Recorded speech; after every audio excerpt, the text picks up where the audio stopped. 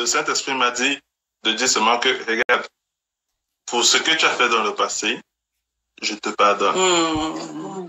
Je te pardonne et ce n'est, ça, ne, ça ne veut pas dire que c'est qui tu es. Exactement. Les actions que tu as posées ne veut pas dire que c'est ça que tu es. C'est comme ça que tu es. Exactement. Et Répète encore. Oui, il faut que tu répètes. Répète, répète. Non, mais c'est fort. Il y a des femmes ici qui sont dans la culpabilité, Absolument. qui pensent qu'elles ne méritent pas d'avoir un bon gars parce qu'elles n'ont pas eu le passé super parfait. Elles n'ont jamais, euh, euh, elles n'ont pas pensé à rester vierges avant le mariage. euh, Et à cause de toutes les, les passages qu'elles ont faits dans le monde, et bien finalement, étant même en Christ, elles ne croient pas qu'elles peuvent avoir le meilleur. Donc, Oui. ce que tu as dit, euh, Juliane, il faut que tu le répètes? Juste pour Non, effectivement. Donc, comme je, comme j'ai dit, c'est la première chose que le Saint-Esprit m'a dit, euh, de dire, quand on parlait à ce- de ce sujet, c'est que je te pardonne. Hmm. Voilà. Parce que c'est c'est très important que ça sorte de la bouche, soit du fiancé, soit du copain, soit du, du mari, que regarde, je te pardonne. Hmm, hmm. Comme ça, parce que tout ça revient au fait de souvent de cacher. Hmm, hmm, hmm. Quand, quand je sens que je ne peux pas me euh, être vulnérable, ou bien quand je sens que je ne peux pas m'ouvrir complètement, bon, ou bien quand je sens que tu ne vas pas accepter cette conversation qui sont difficiles, Hmm, je n'ai pas envie de partager, donc je cache. hmm. Mais si je sens que non, tu me, peu importe. En fait, je, je- ça me revient toujours un peu l'histoire que quand Jésus pardonne la, la vierge, euh, la, La la prostituée. et tout. Mais c'est- tellement counterintuitive. Comment on dit C'est c'est- c'est bizarre. C'est pour dire que genre, comment est-ce qu'il pardonne avec. En fait, il dit si personne entre vous n'a pas péché. Si personne de vous n'a pas péché, lancez la, la première pierre. Donc, qui veut dire que nous tous, nous sommes pécheurs? Hmm. Regarde, je te pardonne. C'est très important de dire ça avec votre femme. C'est très important de dire ça avec en train de nous dire c'est automatique. Mm. Un, un homme qui veut s'engager avec une femme et qui veut rentrer dans le mariage, il doit automatiquement, il doit chercher à l'intérieur de lui de pardonner Mm. toute histoire qui a pu Ouais. arriver en fait Ouais. précédemment. Et franchement, ce que tu dis, Juliane, c'est fort parce que je réalise aujourd'hui, en fait, quand je pense à notre histoire, hein, que effectivement l'amour que Joey a déversé sur moi, Mm. ça m'a beaucoup guéri de mes blessures du passé. Ça m'a tellement, tellement contribué à ma restauration. Vous savez, les filles, là, je m'adresse vraiment aux, aux femmes qui nous écoutent.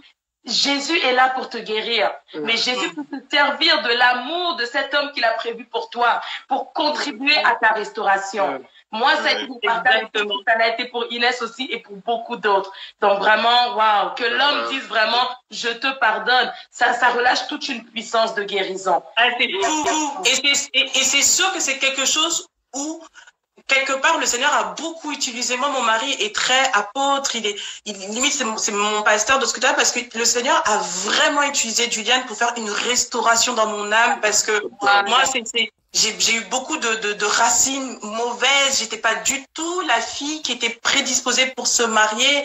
Moi, je ne pensais même pas un jour que j'allais euh, parler à un homme comme ça et être avec euh, des, enfants et puis parler de mon couple librement. Je n'étais pas vraiment, quand on dit qu'il y a la grâce de Dieu, la faveur de Dieu, et qu'on dit que Dieu est un Dieu de restauration, moi j'en suis le cas.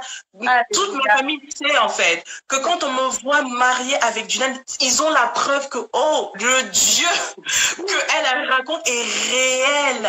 Il est réel parce que cette femme-là, cette jeune femme-là, elle n'a même pas eu de modèle.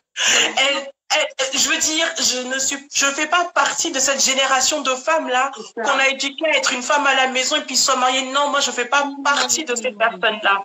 Mais le Seigneur a fait une restauration tellement incroyable dans ma vie qu'aujourd'hui j'ai pu être bien mariée puis je suis extrêmement bien mariée puis j'ai des enfants et mais je me dis mais je peux même pas me plaindre de, de, de quoi que ce soit parce que je reconnais que chaque jour ce que je vis n'est pas la vie qui m'était destinée.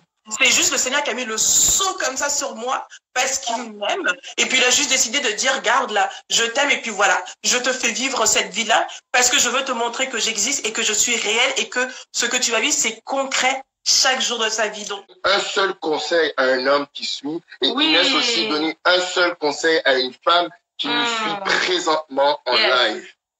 moi, c'est sûr que la- le, le véritable conseil, et ça, et ça, c'est, c'est, c'est-à-dire que c'est l'histoire de ma vie, c'est vraiment apprenez à être des femmes consacrées. Yes. C'est-à-dire que la il y a une onction dans la consécration. Oui, c'est dur.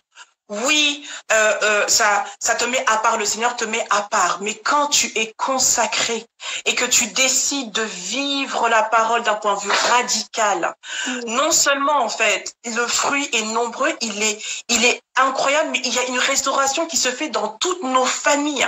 C'est-à-dire que quand je regarde notre couple aujourd'hui, que je regarde toutes les relations qui sont bénies, ça me fait, ça me conforte dans mon idée d'être une femme consacrée, consacrée dans les business, consacré dans la famille, consacré dans les relations.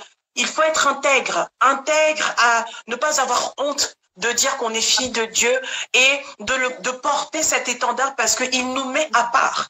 Et même si les gens ne veulent pas faire, ne veulent pas reconnaître que ce que vous vivez c'est intense et c'est profond, ils le voient et ils en profitent. Et gloire à Dieu de ce côté-là. Pour moi, c'est la consécration. Moi, je dirais, euh, après tout, hein, parce qu'il y en a plusieurs, je dirais de ne pas avoir peur. Yes. Si je parle à un homme, c'est de ne pas avoir peur. Mm. Parce que dès le départ de notre relation, euh, c'est ah, est-ce que c'est vraiment elle et tout ça? Non, aie confiance au Seigneur. Quand, quand, tu, quand tu commences à entrer, est-ce que je choisis, je fais la bonne décision? Seigneur, guide-moi, je n'aurai pas peur. Quand tu commences, quand tu commences à, à, à- quand tu vas rencontrer ses parents et tout ça, comme ça et tout, on te dit que la, la dot c'est quelques millions, tu dis que merci Seigneur, je reçois, j'ai pas peur. Est-ce que voir du cœur pour ce que Juliane est en train de dire et ce que Inès a dit, c'est comment? très, très fort. Quand, quand, quand tu, quand tu, quand tu veux, quand tu cherches le travail parce que tu te dis que, oh Seigneur, tu m'as donné une femme, tu, tu en train de me donner les enfants, il faut que j'en prenne soin. Seigneur, j'ai confiance en toi, je n'aurai pas peur. Amen. Quand- quand- en fait, il y en a plusieurs situations que, qui, qui, sont- qui sont au-delà de ta connaissance. Tu ne sais pas comment agir, tu ne sais pas euh, quoi faire, mais ta, la foi en Christ te permet de ne pas avoir peur, Alléluia. te permet de, prendre la bonne décision, te Mm. permet de, de dire non, c'est quoi? De- Le Seigneur me guide, je vais prendre la bonne décision, peu importe si j'ai peur. Mm. Même si j'ai peur, je, je retrouve le courage de prendre la, meilleure- la bonne action dans ça. Je ne reste pas. En fait, parce que la peur, ça, ça- comment dire, uh, it freezes. like, ça, ça, ça, ça te permet de- d'être inactif ou bien de ne pas, de- d'être, euh, de ne pas prendre la, de pas, voilà, merci. Ouais, La, la peur te, euh, te paralyse. c'est ça. La peur te paralyse. Oui, absolument. Et quand, absolument. et quand tu enlèves ça, cette peur-là, ça te permet vraiment de, de, ça te permet vraiment de prendre la bonne décision. Ouais. Ouais. ouais. Même si j'ai peur, je vais prendre viens ce live en vous, fais- en vous posant trois petites questions. Ça, c'est le quiz spécial des Kumpesa. On va le poser à tous les couples qui vont passer sur cette plateforme vraiment. Et le but de ce petit quiz, c'est de donner des réponses spontanées. OK? Amen. Donc, on va finir comme ça. Oui, Première oui. question. Qu'est-ce que vous aimez faire à deux? Lire. Lire, ouais. Ouh, I like that. Ok. Deuxième question, deuxième question, deuxième question. Euh, un mot pour euh, décrire ton mari et ta femme. Donc, un mot pour vous décrire. Juliane, comment tu Joyeux. dirais Inès et Inès, un mot pour décrire euh, Juliane. Joyeuse, je dirais. Yes! Euh, comment tu dis quand tu as une foi euh, débordante? Des- euh, Un homme de un une homme de foi. Il a- une- débordante. une foi débordante. Oui, c'est la foi. Ça, bon. Foi débordante. Dernière question. Euh, un verset, un passage biblique vraiment qui vous impacte. Un verset, un passage, peut-être même un personnage biblique ou une histoire biblique vraiment qui, qui vient vraiment vous chercher? Bon, les passages, on, on aime beaucoup Jérémie 33.3.